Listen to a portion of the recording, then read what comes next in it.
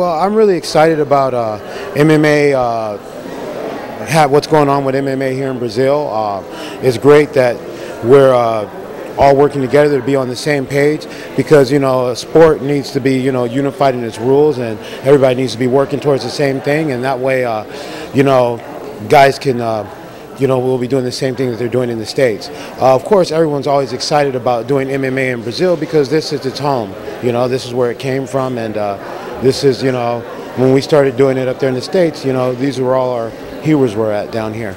And I, am sorry, I forgot to introduce you that you were a legend here in MMA, MMA. So he is very good. How is Via very nice and very good in MMA? How you doing here? How you get the stage you are now? Uh, well, you know what? My, I mean, I, I enjoy do the sport because I enjoy it. Uh, my place in the sport is as a referee now, and that's what uh, that's what I love doing. So anything I do, I, I, try to do as best I can. Fortunately, I was lucky enough to be in a position where I could referee, you know, thousands of fights and and uh, really be able to enjoy my sport as much as I can. And so uh, I'm I'm uh, very excited that people appreciate what I do, and uh, that's not what I expected when I took on this job. And uh, you know, it's uh, been a wonderful surprise.